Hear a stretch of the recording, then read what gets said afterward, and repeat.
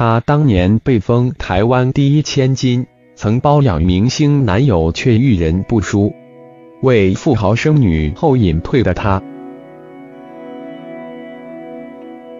她当年被封台湾第一千金，曾包养明星男友，却遇人不淑，为富豪生女后隐退的她。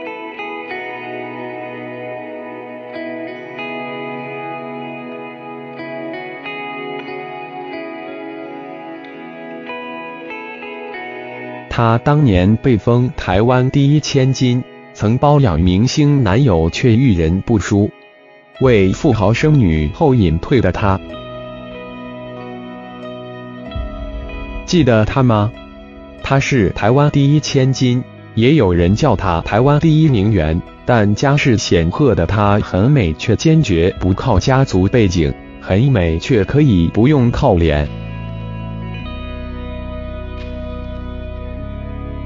出生于日本东京的关颖是日成集团的千金，作为大户人家的长女，家里从小就把她培养成淑女。钢琴、芭蕾是她精通的，然后生性好动的她也跟着爸爸学起马打猎和潜水，还自己跑去学跆拳道和非洲舞。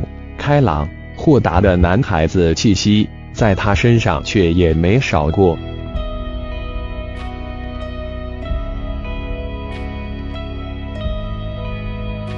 图自由时报。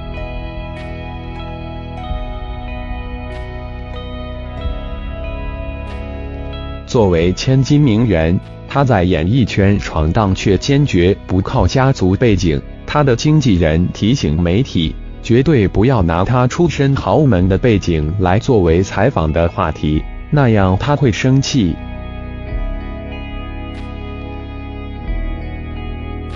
即便从小生长在纸醉金迷的上流社会中，关颖却有主见、有想法，坚持靠自己，靠着精湛演技，她赢得了金马奖最佳女配角提名，电影、戏剧一部接着一部演，甚至曾被封为国片一子。关颖的情史也很精彩，曾经男人不坏，女人不爱的她。经历过蒋友柏、黄志伟、言承旭等特别的男友。Sponsored ads. Sponsored ads. 尤其和男星黄志伟那段轰轰烈烈的感情，更是为人所知。关颖身为富家千金。却和穷演员黄志伟交往，两人穷小子追富家女的偶像剧戏码，一演就是四年。四年来，不断传出关颖包养穷男友的消息，关颖总是闪避这个话题，她也从没否认有金援对方，只是笑笑说这种东西很容易被套用，因为我是千金小姐，他是穷小子，因为我也没有白纸黑字可以证明。这样讲的，我们好像没有真感情，好惨哦，好惨哦。那我这四年恋爱是这些说法对他很不公平。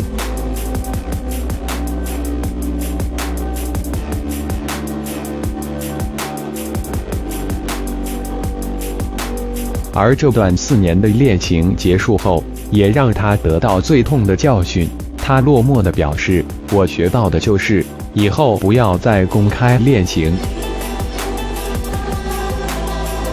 二零一三年，关颖嫁给 CEO 老公后，变为爱淡出演艺圈。后来，她生下女儿朱古力，荧光幕上已鲜少看见她的身影，只有偶尔出现在社群软体上。她的婚后生活十分幸福。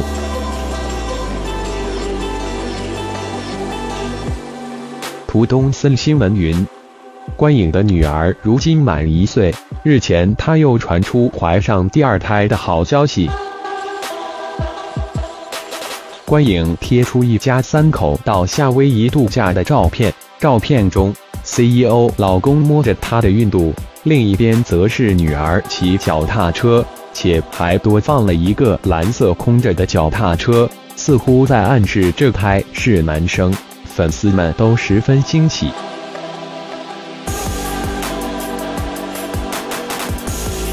当年爱得轰轰烈烈，靠自己的演技在演艺圈闯到的她，生个人妻、妈咪后，过得十分幸福。如今四十岁的她欣慰表示：“人到一个年纪，会很清楚的知道自己适合什么样的另一半，会找到一个心灵伴侣，彼此有信任。”